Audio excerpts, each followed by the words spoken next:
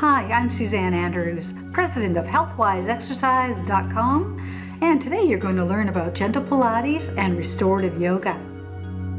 Gentle Pilates' main focus is to strengthen your core muscles, which includes your abdominals and your back.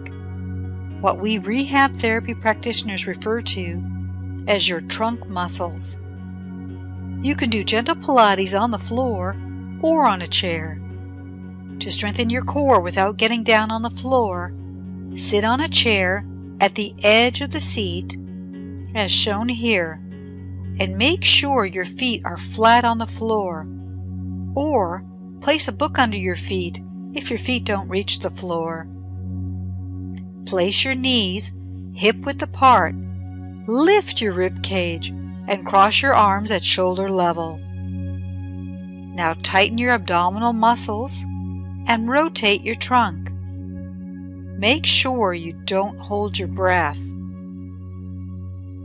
Make sure to steady your hips while rotating your trunk side to side. To do this on the floor, sit on your mat with your knees hip width apart and bent. Cross your arms at shoulder level and twist side to side. To increase the challenge, hold the pose at the side for 5 seconds before turning to the other side. Many exercisers feel that the key to an effective workout is to try to move the body as quickly as possible. The thinking is that more movement leads to more energy consumption, which leads to fat loss and strength gaining. However, when it comes to restorative functional workouts, slower is often better.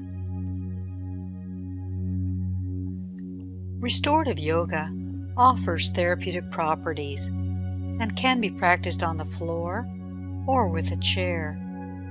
To do, simply lean forward at your waist and place the rolled up towel under your forehead.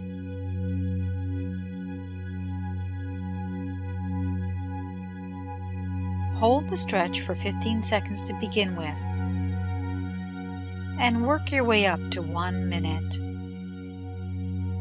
Enjoy the feeling of relaxing your mind, restoring your body, and renewing your spirit. Now slowly inhale as you come up onto your knees and exhale as you lean forward and extend your hands in front.